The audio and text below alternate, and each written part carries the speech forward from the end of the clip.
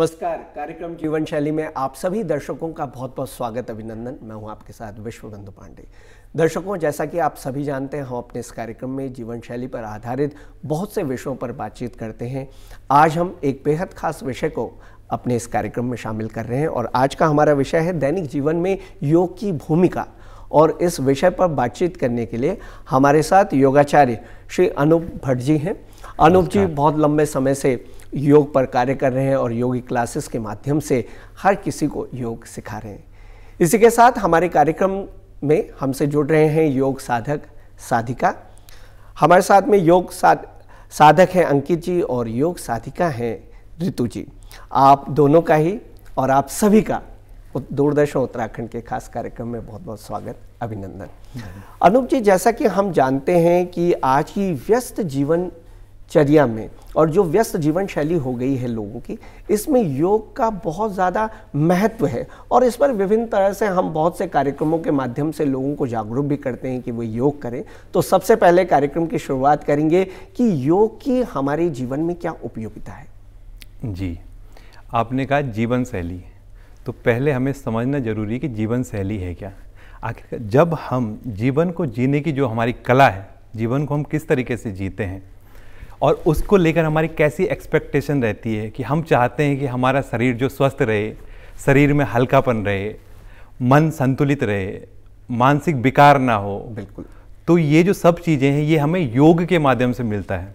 और जब आप योग को अपने जीवन में लाते हैं योग को अपनाते हैं तो आप देखेंगे कि जो आपके जो जीवन जीने की जो मधुरता है जीवन जीने का जो मिठास है आपको अलग ही योग के माध्यम से अपने जीवन को जीने में समर्थवान बनेंगे।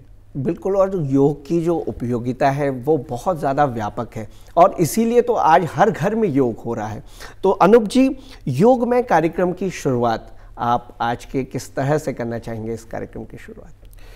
थोड़ा सा तो मैं पहले आपको योग के बारे में बताना चाहूँगा कि बेसिकली जो हम योग से समझते क्या हैं योग अक्सर अभी हम और आप मिले हैं। तो ये जो सकारात्मकता जो ऊर्जा आपकी ओर से मेरे को आ रही है तो यही योग है। बेसिकली जब भी हम कोई दो चीज़ों का समन्वय होता है, दो चीज़ें मिलती है और सकारात्मक रूप से मिलती है, जिससे कुछ अच्छा परिणाम निकले तो वही योग है। तो योग जैसे हमारा शरीर और मन का मेल करवाता है।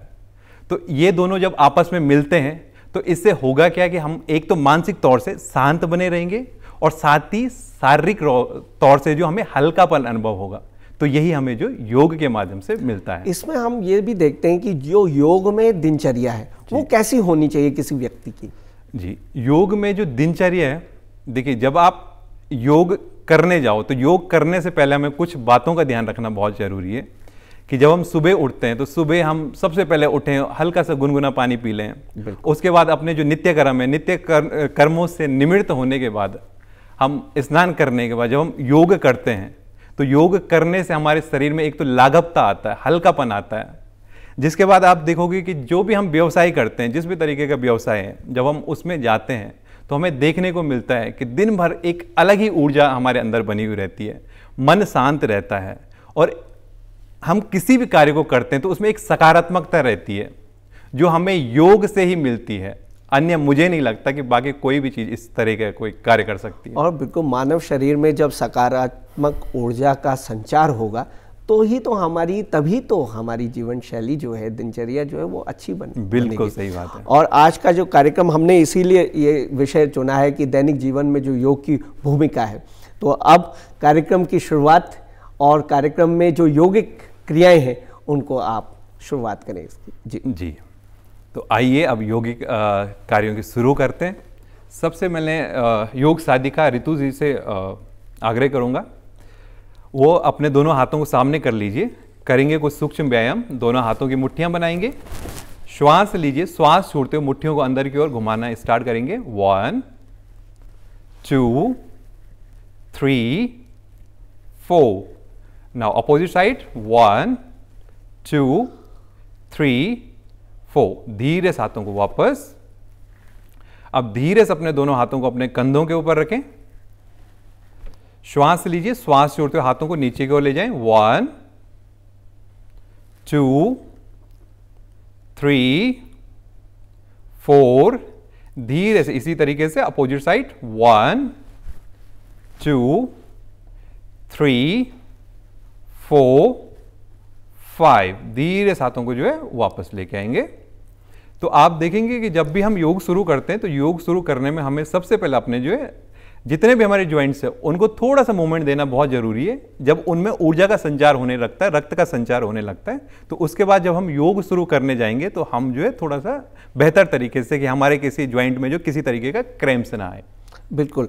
और इसी के साथ में जो हम हाथों की एक्सरसाइज है इसको ये जो योगिक एक्सरसाइजेस हैं इसके द्वारा अपने शरीर को गर्मी जो ऊष्मा होती है उस तरह से ऊर्जावान बनाते हैं पहले जो वार्म अप जैसे कहते हैं। बिल्कुल बिल्कुल। अनूप जी फ़िज़िकल प्रभाव अगर हम बात करें शारीरिक रूप से हमारी जो मन मस्तिष्क है हमारे शरीर पर किस तरह का प्रभाव पड़ता है इस पर आप बताएँ। जी जब हम योग करते हैं तो पहले तो आइए मैं आपको साथ साथ में बताते हुए रहता हूँ और कुछ योग आसनास भी साथ साथ में करते रहते हैं।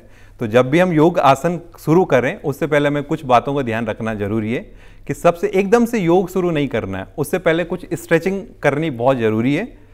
तो इसके लिए ऋतु जी जो है पर्वत आसन में आ जाएँगे। आप एक बार देख लीजिए। ये मैं आप लोगों को इसलिए बता रहा हूँ कि जब भी अगर आपके पास समय की कमी हो तो आप इस स्थिति में आ जाइए सुबह सुबह और कुछ समय इसी स्थिति में रुके हुए रहेंगे। लगभग पाँच second. One, two, three four, five, धीरे से जो है, श्वास भरते हुए, भुजंगासन की स्थिति। वन, टू, थ्री, फोर, पुनः पर्वतासन, भुजंगासन। धीरे से आप ससांगासन में आ जाएँगे। तो जब आप सुबह सुबह उठते हैं और इस तरीके की आप स्ट्रेचिंग करते हैं तो आपके संपूर्ण शरीर में रक्त का संचार होने लगता है और रक्त का संचार जब शरीर में होने लगता है तो उससे क्या होती है, एक ऊर्जा, एक ऊष्मा उत्पन्न होती है। तो इसके बाद यदि हम योग शुरू करेंगे तो आप देखोगे कि जब हम योग की क्रियाएँ करने लगते हैं तो एक सकारात्मकता रहती है, जो बहुत ज़रूरी है। जब भी हम कुछ काम कर रहे हैं तो सकारात्मकता बहुत ज़रूरी है। और जब हम सकारात्मक रूप से योग करेंगे तो उसका प्रभाव जो और कई गुना बढ़ जाएगा। जी। आज के समय में हम देखते हैं कि योग को और जिम को जिम करते हैं जो और योग करते हैं इस पर क्या अंतर आपको लगता है जिम और योग में जो खास तरह का अंतर है इसको इस पर आप क्या कहना चाहेंगे? जी पहले तो मैं आपको योग के बारे में बता दूँ। जी। योग बेसिकली हमें करता है कि योग हमें शारीरिक तौर से स्थिर बनाता है स्थिर सुखम आसनम। जी। जो स्थिरता के साथ किया जाए वही जो है आसन है ठीक है? और इसके अलावा जब हम परिणाम करते हैं प्राणायाम करते हैं तो तस्मिन शरीर श्वास प्रश्वासा योगर गतिर विच्छेदा प्राणायाम। यानी कि जब श्वास और प्रश्वास की गतियों का विच्छेद हो जाता है तो वही प्राणायाम है। तो प्राणायाम हमें मानसिक तौर से शांत करता है। हमारे मन को शांत बनाता है। हमारे रक्त के संचार को जो है सामान्य करता है। शरीर के तापमान को सामान्य करने का काम करता है। जी। जी। दिनचर्या की शुरुआत में हम कौन से ऐसे सुखद आसन हैं जो हम आराम से कर सकते हैं इस पर भी हम आपसे जानना चाहेंगे। जी, जी। तो मैं आ, पहले तो ऋतु जी अपनी जगह पे खड़े हो जाएँगे। तो अभी आप देखेंगे कि जो हम योग करने जा रहे हैं इसे बोलते हैं अष्टांग सूर्य नमस्कार। इसके माध्यम से आप देखेंगे कि आप यदि इस तरीके की कुछ एक्सरसाइज कर पा रहे हैं तो आपको मुझे नहीं लगता है कि आपको अन्य किसी अन्य तरीके की कोई व्यायाम करने की आवश्यकता है। तो एक बार आप देखिए। चलिए samasthiti now ekam inhale bend your knees look at your thumb utkatasana the exhale full forward padastasana three in look up stretch you back four jump back chaturanga dandasana five in lift you up body six exhale downward seven right leg inhale war it was first 8 exhale chaturanga dandasana 9 inhale upward. 10 exhale downward. 11 left leg inhale warrior pose first. 12 exhale chaturanga dandasana 13 inhale upward facing dog pose. 14 downward facing dog pose 15 inhale and jump forward 16 full forward padastasana 17 inhale bend your knees utkatasana and slowly release तो आपने ये देखा अभी जो हमने किया है योग तो इसके माध्यम से जो है आप अपने शरीर को जो है किस तरीके से मज़बूत बना सकते हो शरीर को लचीला बना सकते हैं तो ये योग कर सकता है। आपको लचीलापन दे रहा है आपको मज़बूत बना रहा है और मानसिक तौर से शांत बना रहा है अभी है। आपने जो कराया है योगिक क्रिया ये सूर्य नमस्कार। जी। सूर्य नमस्कार की उपयोगिता क्या है? इसके लाभ जो है खास तौर से आप बताना चाहें। जी। बेसिकली ये तो जो अभी हमने किया इससे बोलते हैं अष्टांग सूर्य नमस्कार। तो सूर्य नमस्कार बेसिकली सूर्य नमस्कार को संपूर्ण योग भी कहा जाता है।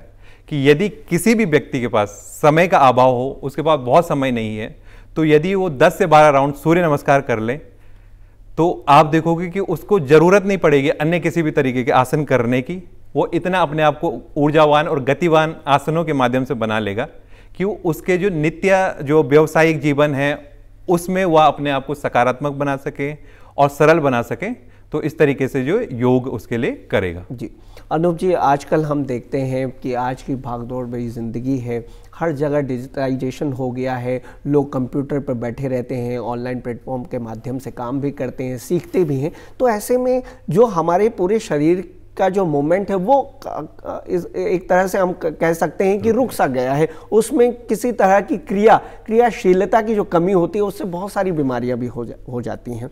आज हम देखते हैं कि मोटापे के लोग बहुत ज़्यादा शिकार होते हैं और ऐसे में बहुत ज़्यादा मुश्किल होता है उनके लिए कि अपना वेट लॉस कर सकें। तो योगिक क्रिया कौन कौन सी ऐसी हैं जो हमें मदद कर सकती हैं मोटापे के रूप में? आपने ये बड़ा ही अच्छा प्रश्न पूछा अभी। क्योंकि आजकल लोगों को जो जितना भी लाइफ स्टाइल डिसऑर्डर बहुत ज़्यादा हो रहे हैं आ, किसी को गर्दन का दर्द रह रहा है किसी को कमर का दर्द रह रहा है तो वो कई तरीके की तो दवाइयाँ खा लिए कई अन्य तरह के परामर्श भी ले लिए लेकिन उनको जो फिर भी कुछ आराम नहीं मिलता है। तो योग किस तरीके से उसके जीवन को सरल बना सकता है? अभी मैं आपको कुछ योग आसनों को करवा के दिखाता हूँ। तो सबसे पहले हम करने वाले हैं उस्ट आसन अपने दोनों घुटनों पे आ जाएँगे अंकित जी। दोनों घुटनों के बीच में कुछ अंतर छोड़िए। जो लोग शुरुआती योग अभ्यासी वो अपने दोनों हाथों को कमर पर रखेंगे। श्वास लेंगे, श्वास छोड़ते हुए अपनी कमर को पीछे की ओर झुकाते जाइए बैंड करिए पूरा। इस स्थिति में आप देख रहे हो कि आपके एक तो गर्दन में खिंचाव आ रहा है, दूसरा आपका पेट खिंच रहा है, तीसरा आपके छाती में खिंचाव आ रहा है, धीरे से वापस इसी को जब हमें कुछ समय और हो जाए, आपको दो महीने, चार महीने योग में हो जाता है तो आप इसको थोड़ा सा और एडवांस ले जा सकते हैं। उस्टासन को उस्टासन बी, श्वास लेते हुए अपने राइट हैंड को ऊपर उठाएँगे। राइट हैंड से राइट हील पकड़िए। लेफ़्ट हैंड से लेफ़्ट हील पकड़िए।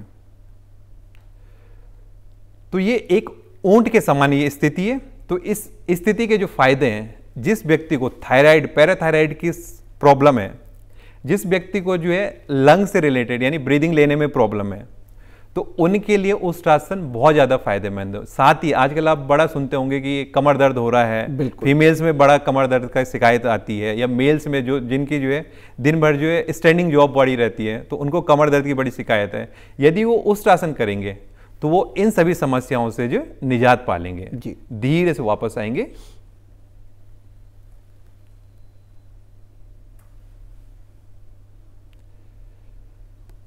धीरे से दंडासन की स्थिति में आ जाइए। और साथ ही आपने कहा कि मोटापे का शिकार। बिल्कुल। तो एक तो आपने उस आसन किया अगला अभ्यास वक्र आसन इसके लिए आपने राइट लेग को बैंड कर लेंगे राइट हैंड को अपने रीढ़ के हड्डी के बाद पीछे रखेंगे लेफ़्ट हैंड को धीरे से ऊपर उठाइए। यह स्थिति है वक्र के समान एक कर्वेचर पोज है ये। तो इसमें आप देखेंगे कि इससे क्या हो रहा है कि एक तो पेट में प्रेशर जा रहा है। तो पेट में प्रेशर जाने से क्या होता है कि जो आपकी आंतें हैं वो सुखुड़ती है तो वहाँ पे ब्लड का सर्कुलेशन तेज हो जाता है। बिल्कुल। जिससे आपकी एक तो जिन लोगों को कॉन्स्टिपेशन की दिक्कत रहती है तो उनको जो है कॉन्स्टिपेशन ठीक होने लगेगा। और साथ ही इससे होता क्या है कि जब आपका ब्लड का सर्कुलेशन आपके आंतों में घूमेगा साथ में आपके पेट में रहेगा तो उससे आपकी जठ रागिनी तीव्र होती है। बिल्कुल। आपका मेटाबॉलिज्म हाई होता है जिसकी वजह से धीरे धीरे जो आपका वेट लॉस होने लगता है। बिल्कुल। धीरे से वापस इसी तरह से विपरीत दिशा में करेंगे। अपने लेफ़्ट लेग को बैंड करिए लेफ़्ट हैंड को स्पाइन के पास रखिए राइट हैंड को ऊपर उठाइए धीरे से जो है हाँ और साथ ही इसमें देखिए आजकल आपको बड़ा सुनने में आता हो कि जी डायबिटीज़ की बड़ी समस्या है। जी। तो ये जो योग आसन है जिसे वक्रासन कहते हैं ये आपको 100 परसेंट आपको जो 60 टू 70 परसेंट आपको जो है डायबिटीज़ में फ़ायदा देता है। मधुमेह की जिसे हम समस्या बहुत कहते हैं। अच्छे तरीके से आपने ये बताया भी है कि इन योगिक क्रियाओं को अगर हम करते हैं और अपनी नित्य जीवन शैली में इन्हें अपनाते हैं तो निश्चित रूप से पेट की समस्या आजकल हम देख रहे हैं इंडाइजेशन अपच की समस्या बहुत ज़्यादा देखने को मिलती है। तो इस पर अगर हम और कोई एक सरल यौगिक क्रिया भी अगर इस पर आप कराना चाहें। जी, जी। आ, धीरे से अपने घुटनों पर आ जाएँगे। ये आसन एकमात्र ऐसा आसन है। जिसे वज्रासन कहते हैं। वज्रासन में बैठ जाएँगे धीरे से। इसको एक तो आप खाने के बाद मात्र एक ये आसन है जिसको आप खाने के बाद कर सकते हैं, क्योंकि इसमें आप ब्लड का सर्कुलेशन जो आपके निचले हिस्से के मुकाबले ऊपरे हिस्से में ज़्यादा रहता है। तो अगला अभ्यास हम कर रहे हैं मंडूक आसन। धीरे से अपने जो दाएँ हाथ की मुट्ठी बना लेंगे और अपने दाएँ हाथ की मुट्ठी को जो अपने नाभि पर लगाएँगे। बाएँ हाथ को बाहर से लगा लीजिए, हाथ हाँ श्वास लीजिए। श्वास छोड़ते हुए सामने की ओर झुकेंगे। मंडूक आसन मंडूक का आपने ज़्यादातर सुना होगा कि मंडूक आसन जो हमारे डायबिटीज़ के लिए बड़ा अच्छा रहता है मधुमेह के लिए बड़ा अच्छा रहता है। लेकिन मंडूक आसन सिर्फ़ मधुमेह के लिए ही अच्छा नहीं है। ये आपने जो कहा कि किसी को गैस की समस्या है किसी को अपज हो जाती है या फिर किसी को जो है एंजाइटी तक उन सभी समस्याओं को जो आपका मंडूक आसन ठीक करता है। धीरे से वापस आइए। और साथ ही ये क्या करते हैं कि आपने बड़ी मज़ेदार बात यह है कि आपका जब पेट शांत रहेगा पेट रिलैक्स रहेगा तो आपका मस्तिष्क भी शांत होने लगेगा। इन दोनों का आपस में डायरेक्ट संबंध है। जैसा हम इंजन ऑयल जैसा फ्यूल हम शरीर के अंदर डालेंगे तो उसी का रिज़ल्ट जो हमें ब्रेन में मिलेगा। बिल्कुल। अक्सर आपने देखा होगा कि जब हम कई तरीके का भोजन करते हैं तीन चार टाइप का भोजन करते हैं तो मानसिक तौर से हम बड़े अशांत हो जाते हैं माइंड बड़ा इधर उधर घूमने लगता है। तो ये इसका सीधा संबंध है कि जब आप पेट को एक तरीके का भोजन देंगे आप कभी प्रैक्टिकली करके देखना आप एक तरीके का भोजन देंगे तो आप देखोगे कि आपका माइंड भी बड़ा रिलैक्स होने लगेगा। माइंड भी उतना नहीं भागेगा जितना आपका पहले भाग रहा था। तो इसीलिए कहते हैं कि सात्विक भोजन लो, ऐसा भोजन लो जिसमें फाइबर हो, जिसमें कंप्लीट न्यूट्रिशन हो। क्योंकि हमें सोच समझ करके अपने मुँह के अंदर क्या डाल रहे हैं, ये बड़ा ध्यान से देखना चाहिए। क्योंकि हम जैसा अंदर डालेंगे, उसी का जो रिज़ल्ट हमारे बाहर दिखेगा। आपके चेहरे में चमक है आपके चेहरे में झुरियाँ हैं तो ये सब चीज़ें जो आपके फ्यूल पे, यानी आपने कैसे खाना अंदर डाला है उस पर निर्भर करता है। भोज्य पदार्थ का जो महत्व है वो काफ़ी ज़्यादा है और ख़ास तौर से हम योगिक क्रियाएँ जब करते हैं तो खान पान का ध्यान रखना अत्यंत आवश्यक है कि किस तरह का भोजन हम ले रहे हैं तभी तो हम योगिक क्रियाएँ भी कर पाएँगे और अपनी जीवन शैली को संतुलित रख पाएँगे। अनुप जी हमने पहले बात की थी शारीरिक प्रभाव जो हैं योग के। हम इसके मानसिक प्रभाव जैसे कि आपने कहा कि एंजाइटी में और किसी बहुत सारी ऐसे मनोवैज्ञानिक अवसाद हैं जिससे व्यक्ति ग्रसित रहता है लेकिन जब हम योगिक क्रियाएँ करते हैं तो उसमें शांति आने लगती है मन मस्तिष्क हमारा शांत रहता है हमारी बॉडी में एक पीस बना रहता है और उससे हम जब कोई भी कार्य करते हैं तो उसमें हमें सफलता ही मिलती है उपलब्ध उपलब्धि हमें प्राप्त होती है। तो जो हमारा मानसिक रूप से हम अपने मन मस्तिष्क को शांत रख सकें इसके लिए भी कुछ योगिक क्रियाएँ हैं ज़रूर आपसे हम जानना चाहेंगे। जी बिल्कुल। आ, पहले तो अंकित जी सामान्य स्थिति में बैठ जाएँगे पद्मासन लगाकर। पहले तो जो हमने योग आसन क्रियाएँ करी है जब आप योग आसन करते हो शरीर में लचीलापन आता है तो उससे होता क्या है कि रक्त का संचार तेज होने लगता है। जब रक्त का संचार पर्याप्त मात्रा में शरीर में पहुँचता है तो उससे ही मानसिक तौर से हम शांत होने लगते हैं। बिल्कुल। उसके अलावा अक्सर आपने सुना होगा प्राणायाम प्राणों का आयाम ठीक है? तो साथ में करते भी हैं उनके लाभ भी जानते रहते हैं। तो सबसे पहले हम करेंगे अनुलोम विलोम अपने राइट नोस्टल को बंद करेंगे। और लेफ़्ट नोस्ट्रल से धीरे धीरे श्वास लेते रहेंगे। अब अपनी लेफ़्ट नोस्ट्रल को बंद कीजिए और राइट से धीरे धीरे श्वासों को खाली कीजिए। अब राइट नोस्ट्रल से श्वास लें और लेफ़्ट से धीरे धीरे खाली करते रहिए। इसको कहते हैं अनुलोम विलोम। अनुलोम विलोम सामान्यतः जो है, हमारे शरीर के और मस्तिष्क के तापमान को नियंत्रित करने का काम करता है। और जब हम इस तरीके की क्रियाएँ करते हैं, जिनको हम प्राणायाम करते हैं तो आप देखो कि आपका जो है मन, मस्तिष्क शांत होने लगता है और आपका रक्त का संचार भी एक सामान्य गति से जो है शरीर में होने लगता है। तो ये सब चीज़ें जो हमारे प्राणों प्राणायाम के माध्यम से मिलता है। और प्राणायाम जब आप करते हो तो आप देखो कि ऐसे व्यक्ति बड़े ही सकारात्मक होते रहते हैं। उनके अंदर जो सकारात्मकता आती है वो जो भी कार्य करते हैं तो प्रत्येक चीज़ में जो है जैसे यहाँ पे एक गिलास भरा हुआ है तो ये कैसे हम अक्सर सुनते होंगे कि ये गिलास आधा जो है भरा हुआ है। तो वो आता कब है? जब हम उस तरीके की क्रियाएँ करते हैं जो हमें जो प्राणायाम के माध्यम से मिलता है। जी, जी। इसके साथ ही जैसे कि आपने प्राणायाम का तो महत्व काफ़ी ज़्यादा है प्राण शक्ति ही जीवन शक्ति है अनूप जी। इसके साथ ही जो बाह्य प्राणायाम है कपाल भाती है अनुलोम विलोम है अभी तो हमने जैसे अनुलोम विलोम किया है तो और कोई प्राणायाम आप बताना चाहें एक या दो जो जो जिसे हम कर सकते हैं नियमित करें जिससे हमारा जो पूरा का पूरा मेटाबॉलिज्म है वो सुंदर हो सके स्वस्थ हो सके। जी। जी। तो अगला जो मैं प्राणायाम बताने जा रहा हूँ कि अभी आने वाला जो टाइम है फरवरी ये मार्च अप्रैल का है ना? जून का बहुत गर्मी रहती है। तो ऐसे में हम अपने बॉडी का टेम्परेचर कैसे मेंटेन करें? जी बिल्कुल। मैं आपको पहले बताना चाहूँगा परमात्मा ने हमें बड़ा खुश नसीब बनाया है। कि हमें जो ये दो नोस्टल दी है ना, इसके पीछे कुछ कारण है। तो जो आपके राइट नोस्टल है राइट नोस्टल से हमेशा हीट अंदर जाती है और लेफ़्ट नोस्टल से कोल्डनेस यानी ठंडक अंदर जाती है। तो यदि हम इनका यूज़ करने लगा, आपने देखा होगा कि साधु सन्यासी जो बर्फ़ में भी तपस्या कर रहे हैं, गर्मी में भी कर रहे हैं, कैसे? वो इसी जो टेक्निक को अपनाते हैं। तो इसी को हम आगे ले जाते हुए हम देखते हैं कि अगर गर्मी का समय जो आने वाला है कि वो कौन से प्राणायाम है तो आइए अब हम करने जा रहे हैं शीतली प्राणायाम। तो सबसे पहले अपनी जीप का जो है पाइप नुमा आकार ले लेंगे। जितनी क्षमता हो, अपनी जीप से श्वासों को अंदर की ओर खींचेंगे, अपने छाती को, अपने पेट को पूरी तरीके से फुलाइए। धीरे से अपनी जीवा को बंद कर लीजिए। अब अपनी दोनों अपने हाथ से जो नासिका छिद्रों को बंद कर लीजिए। इस स्थिति में आप जितना रुक सको, कम से कम तीन से चार सेकेंड रुकेंगे।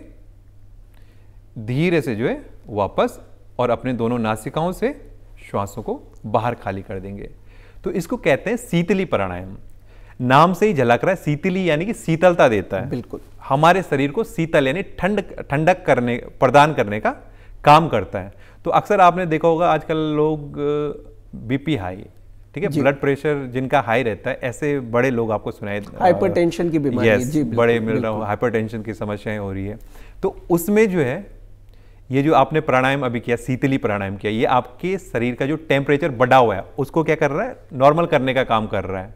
तो इसको करने के बाद आप देखोगे तुरंत इंस्टेंट एक तो आपका बीपी जो है धीरे धीरे सामान्य आने लगता है, साथ में आप जो मानसिक तौर से शांत होने लगते हैं। और जब आप मानसिक तौर से शांत होने लग रहे हो, जो हमें आजकल चाहिए, हर किसी की समस्या यही है, रात को नींद नहीं आ रही है, मन बड़ा व्याकुल है तो उसके पीछे का कारण जो है वो हमारी एक्सपेक्टेशन है, कई तरीके अलग चीज़ें हो सकती है।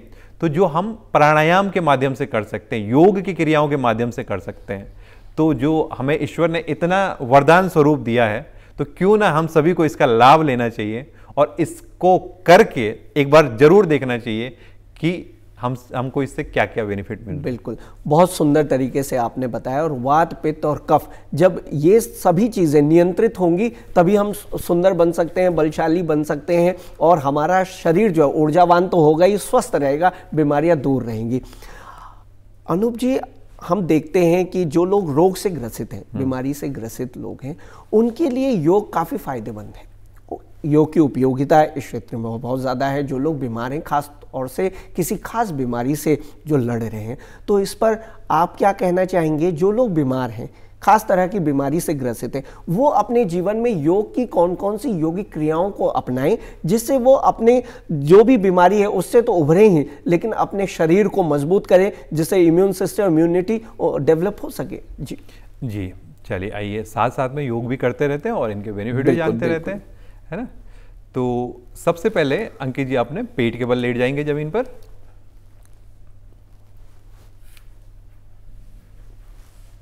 पेट के बल आ जाइए।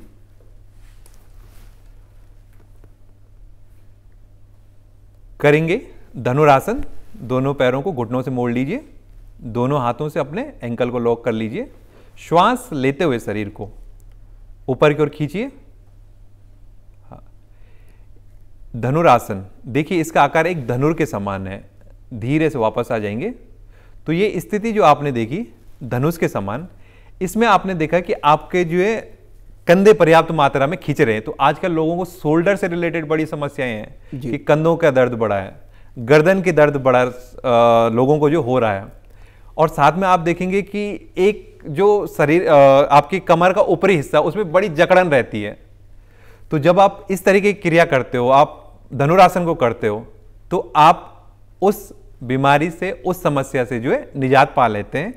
एक बार फिर से धनुरासन को दोहराएँगे। धीरे से श्वास लेते हुए शरीर को ऊपर की ओर खींचे और साथ ही आप इस आसन में देख रहे हैं कि इसमें जो पैरों में खिंचाव आ रहा है। तो आजकल बड़ा सुनाई देता है कि वेरिकोज बेन हो गया है, इसके जो बार बार पैरों में क्रैम्स आ रही, पेट में क्रैम्स आ रही है। तो वो इस वजह से आती है क्योंकि ब्लड का सर्कुलेशन सही तरीके से नहीं हो रहा। ऑक्सीजन पर्याप्त मात्रा में नहीं पहुँच रहा है। धीरे से वापस आइए। तो जब आप इस तरीके की क्रियाएँ करने लगते हैं तो आपके शरीर में एक तो ऑक्सीजन पर्याप्त मात्रा में पहुँचता है और साथ में आपको जो ब्लड का सर्कुलेशन पर्याप्त मात्रा में पहुँचता है तो उससे आप जो काफ़ी सारी बीमारियों से जो निजात पा लेते हैं। बिल्कुल। धीरे से अंकित जो अपने पीठ के बल लेट जाएँगे।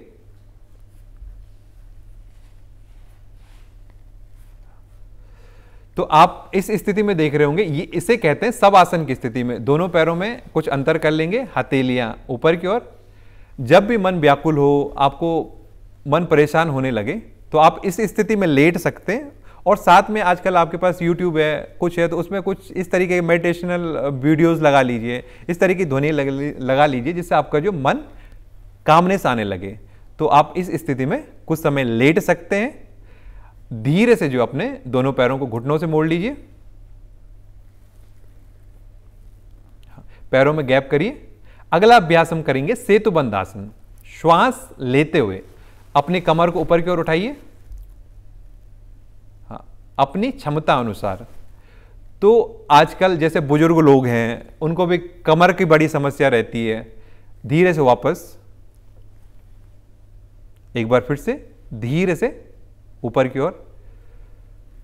तो सेतु बंद आसन एक तो इसने सेतु के जैसे आकार ले लिया है तो इससे बेनिफिट क्या होगा? एक तो जिस भी व्यक्ति को किसी भी तरीके का कमर दर्द है वो बिना सोचे समझे इस आसन को कर सकता है। उसको शत प्रतिशत इस आसन से जो है लाभ ही होगा। धीरे से वापस एक बार फिर से श्वास लेते हुए ऊपर उठाएँगे। और साथ ही इसको करने से आप देख रहे होंगे कि इस समय के आपका जो है ब्लड का सर्कुलेशन जी अनुप जी ये तो हो गई योगिक क्रियाओं के बारे में बातचीत। जो। बच्चे हैं योग को अपनाना चाहते हैं छोटी उम्र से ही जब योग करते हैं तो उनका जो मेटाबॉलिज्म है पूरी की पूरी जो स्वस्थ शरीर होता है, उसका निर्माण बचपन में ही होता है। बच्चों के लिए आप क्या नसीहत देना चाहेंगे कि बच्चे किस तरीके से अभिभावक उन्हें योग कराएँ? क्योंकि एग्ज़ाम प्रेशर भी रहता है, उससे वो स्वस्थ रहेंगे, मन मस्तिष्क जब स्वस्थ रहेगा तो परीक्षाओं में भी अच्छा प्रदर्शन कर सकेंगे। जी। जी, बिल्कुल। योग कोई भी कर सकता हो, स्पेशली बच्चों को तो करना बहुत ही ज़रूरी है। लेकिन हमें यह जानना ज़रूरी है कि बच्चे किस तरीके की एक्टिविटीज़ कर सकते हैं, क्योंकि बच्चे जब हम बचपन में देखते होंगे कि मानसिकता माइंड बहुत तेज भागता है। तो हमें कुछ इस तरीके का कुछ उनके लिए गेम बना लेना चाहिए कुछ इस तरीके की एक्टिविटीज़ कर लेनी चाहिए कि उनके मज़े मज़े में यानी एंजॉय करते रहे और उसके साथ साथ उन्हें जो है जी बहुत सुंदर जानकारी आपने साझा करी। हमारे साथ में जो योग साधक साधिका जुड़ी हैं अंकित जी और ऋतु जी हम आप दोनों का ही धन्यवाद करते हैं कि आप हमारे कार्यक्रम से जुड़े। इसके साथ ही अनूप जी आपने बहुत सुंदर जानकारी हमारे साथ में शेयर की इसके लिए आपका बहुत बहुत धन्यवाद। तो दर्शकों यह था आज का कार्यक्रम जिसमें आज हमने दैनिक जीवन में योग की क्या भूमिका है इस पर बातचीत की। अगले अंक में आपसे फिर होगी मुलाकात। तब तक के लिए नमस्कार।